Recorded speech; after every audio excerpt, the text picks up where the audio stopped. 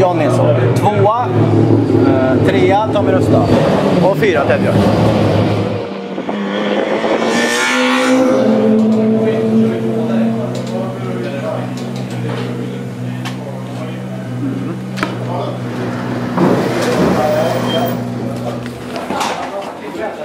Det såg lite tajt ut där mellan dig och Göransson. Jag vet inte, han åkte långsamt och bara förstörde hela varvet.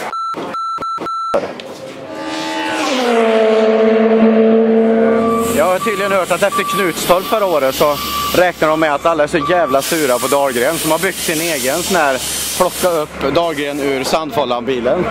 Och Rusta provar den nu och se om det är möjligt att få upp Dahlgren så långt ifrån eh, sandlådan som han kommer att hamna tydligen i race efter race i år. Så att...